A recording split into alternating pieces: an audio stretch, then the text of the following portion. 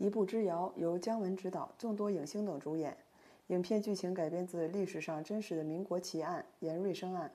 影片讲述的是一九二零年的上海，花国大选如火如荼，最终归属扑朔迷离。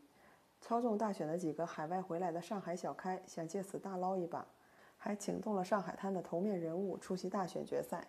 选举结束时候，一场意外使一切发生了翻天覆地的变化的故事。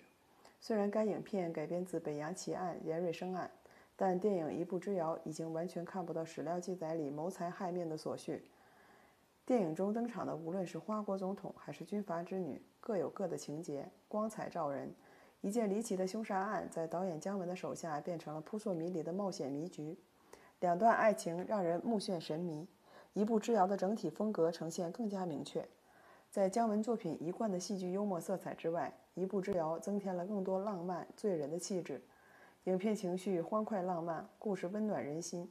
这部电影不论在投资、制作、阵容方面，都刷新了国产电影制作规模，各项标准是与好莱坞齐平。而从商业模式上说，《一步之遥》延续了历来大片大导演加大投资者加大明星的传统。姜文与葛优再次联手，在技术层面，《一步之遥》同样有高水准。所以电影的票房基本有了保证。感谢您的观看，期待您的评论，我们下一期再见。